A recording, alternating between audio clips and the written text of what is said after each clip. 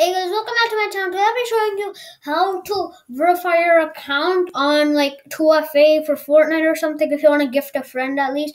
So go when you want so you want to go on the Epic Games website on computer.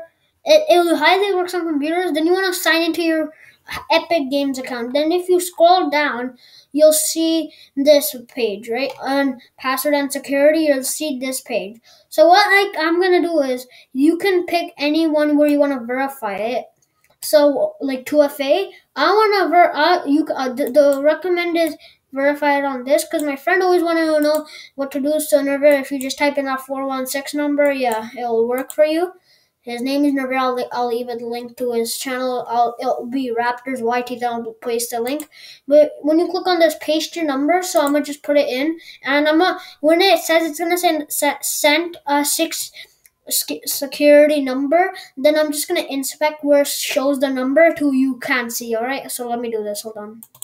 Right there, I wrote it to you can't see spice number. But when this happens is on your phone, you're gonna get a message about verification. Then what that one verification is, let's say the code is like 60406, right? It's a six security number, so like 60403. I, I would have to click and this is just a random number I wrote in. So because I don't want to do it now, I'm just gonna do it off camera. But when you do it, that's how you enable 2FA. So all you gotta do is just do that, and then yeah. So that's how you enable 2FA. I hope that helped, and I'll see you guys next video. Goodbye.